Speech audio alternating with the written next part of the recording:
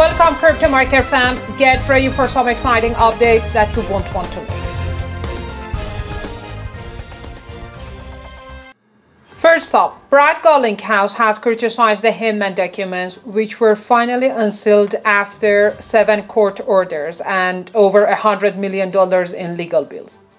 Garlinghouse accuses the SEC of professing a fake open arms and come in and register policy, and even accuses Hinman of deliberately ignoring the law.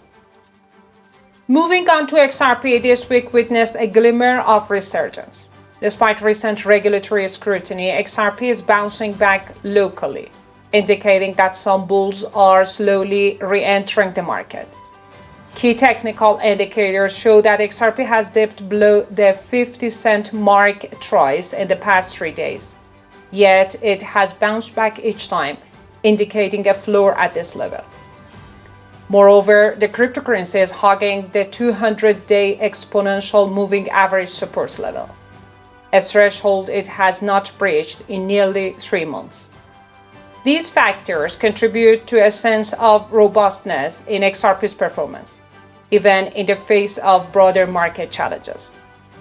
In other news, the Bank of England is a step closer to launching its central bank digital currency, dubbed Britcoin, following the conclusion of a trial study called Project Rosalind.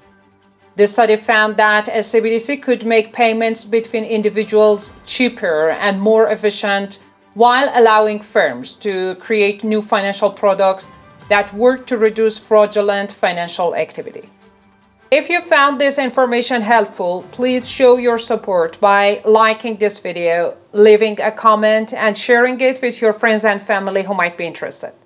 And don't forget to hit that subscribe button for more news and updates from Crypto Marker. Thanks for watching.